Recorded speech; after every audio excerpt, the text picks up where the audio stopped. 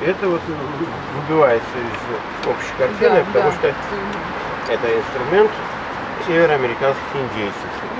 Индейский флейт или пима. Да. Звук красивый, звук другой. Низкий. Как будто грязный.